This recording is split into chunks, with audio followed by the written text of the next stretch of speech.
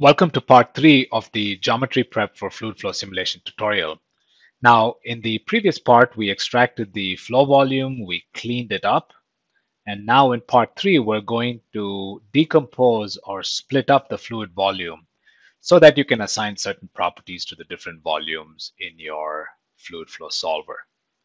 Uh, before uh, we move on, I just want to point out the simulation information display or SID down at the bottom of your screen. The SID is a place where messaging and other information is available. So for example, you'll see this little message icon here. If you click on it, it just tells you information that is pertinent to the actions you have taken. So this particular message um, refers to the um, uh, time in part two, where we use the sharp angles tool to identify sharp edges. And, you know, just keep an eye on this area for information.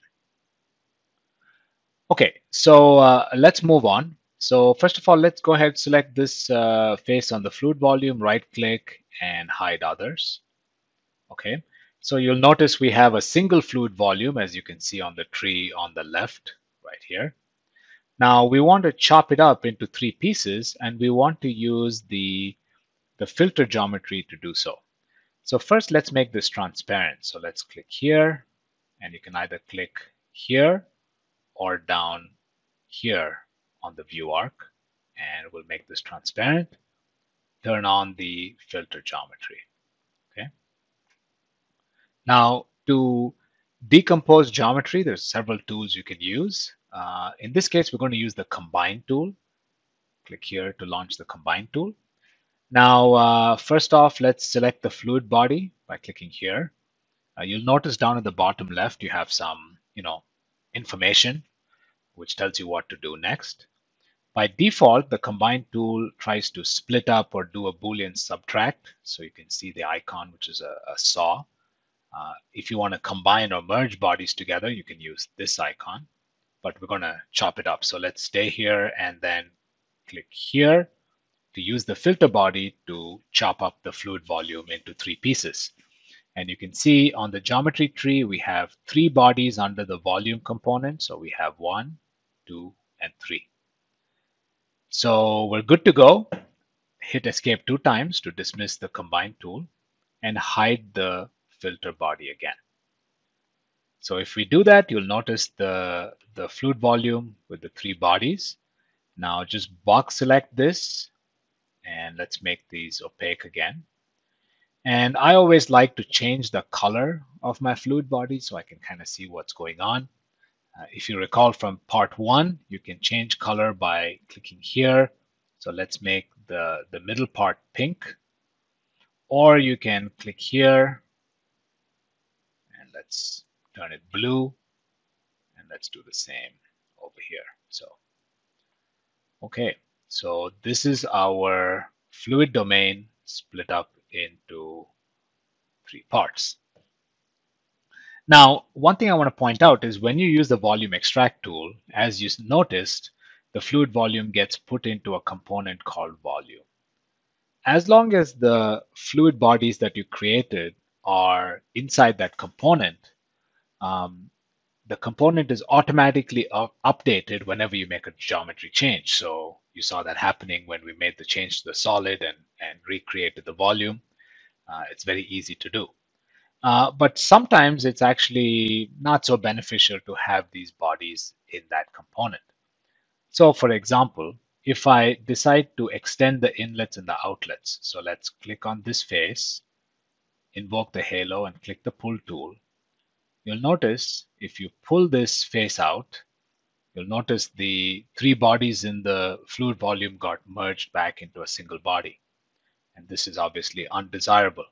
So let's click here to undo that operation. Now there's two ways in which you can prevent this from happening. You can select the no, no merge option in the pull tool. So now if you pull it out, you see it doesn't merge. So let's undo this again and hit escape two times. The second way is to put each of these fluid bodies into its own component. When you do that, it basically uh, eliminates the automatic merging of these bodies. before we put these fluid bodies into different components, let's rename them. So let's right click on volume, rename this to fluid dash filter. Let's do the same for the other two. So let's just call this fluid dash uh, one perhaps, and then right click and rename this to fluid two. Okay, so we have three bodies, we just renamed them. Now, if you control select those three bodies from the tree, right click, you'll notice that we can either move them to a new component or what we want to do is move each to a new component. Okay, when we do that, you'll notice everything looks the same, but the tree has been updated. The component called volume is now empty, so we can right click and delete that. And you'll see that each of the fluid bodies are in their own separate component. Okay, so now if we go back to the inlet face and we do pull, even though no merge is not selected, I can pull this out and, you know, the bodies stay separate. Let, let's do the same thing for the um, outlet side as well. Let's hit escape two times to dismiss. And now let's right click and show all. Okay. So we're very close to being done. You can see we have, you know, created the flow volume. We have split it up. We've moved them to different components and we have extended the inlets and outlets, which is, uh, you know, a good practice. Um, the last thing we need to do is uh, create some naming conventions uh, for the different faces and so on that will be used in your Fluent or CFX solver. Okay, so um, let's um, hide everything but the fluid domain again. And um, like I said, the easy way to do that might be to hide everything and then just turn on the three fluid bodies. Now let's select this face and then let's click here and you'll notice this is the place where we went to for the power select, but you'll notice there's something called groups also, okay? Now under groups, click the plus selection icon and you'll notice a new group called group one has been created.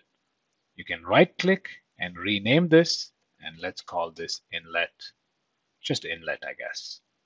Let's do the same thing for the outlet. Click plus selection, right click, rename, and let's call this outlet. Now you'll notice that we have some additional groups.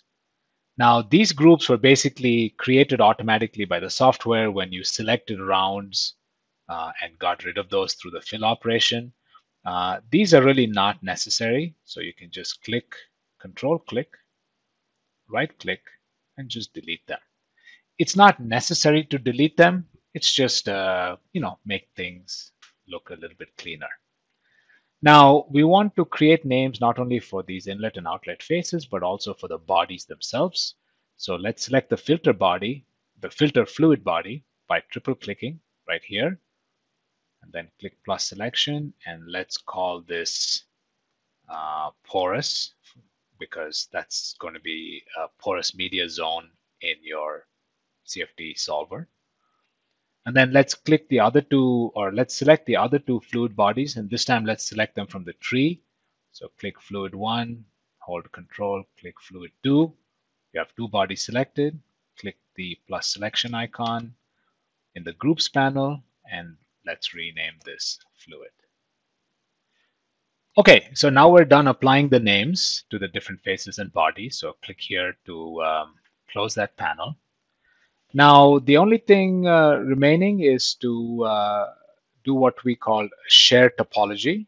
Uh, the share topology operation ensures that the mesh between these different uh, fluid bodies is conformal or continuous.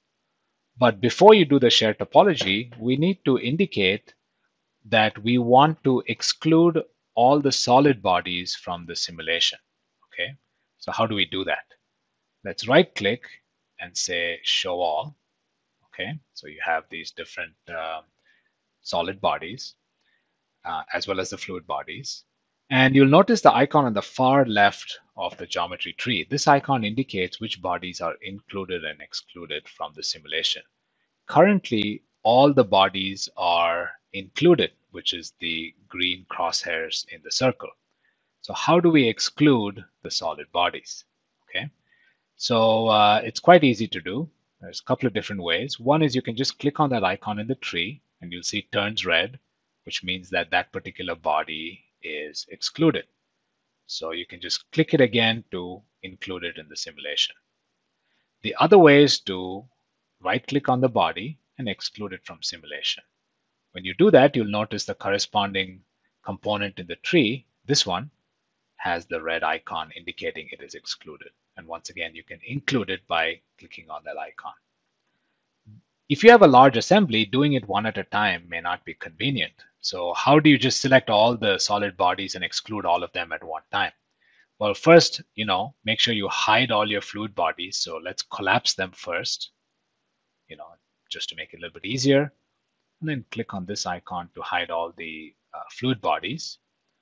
And then either right click and say select all, or in this case, you can just simply box select to select all the bodies. You can see down here on the bottom right, it says 12 bodies. And then right click and say exclude from simulation. When I did that, you'll notice all the solid bodies have been excluded. Okay, so uh, quite easy. Okay, so we're done excluding the solid bodies. Let's bring back the fluid bodies. Um, so what's an easy way to just inverse the visibility? Right click and click inverse visibility and you'll see, you know, all the solids are hidden and the fluids are shown. You know, just different ways for you to play with visibility and so on. Uh, now that we're done excluding the solid bodies, let's do shared topology. And you can do that by clicking here on the Prepare tab and clicking here on the Share tab. Now, the Share tab uh, shows you the faces that are going to be part of shared topology. And they're colored in red. And they should be the faces which are, you know, connecting the two um, solid bodies or fluid bodies together. So this looks good. Just click the green check mark. Now you want to review this. And to do that, simply, simply click on the review tool. Okay, this is the shared topology review tool. By default, it's going to show you the faces which are not shared, and they're going to color it in red. Um, but here we don't see any red, which is a good thing because this means all the faces between these bodies are shared. You can click here to display the shared faces and the default color is this kind of green.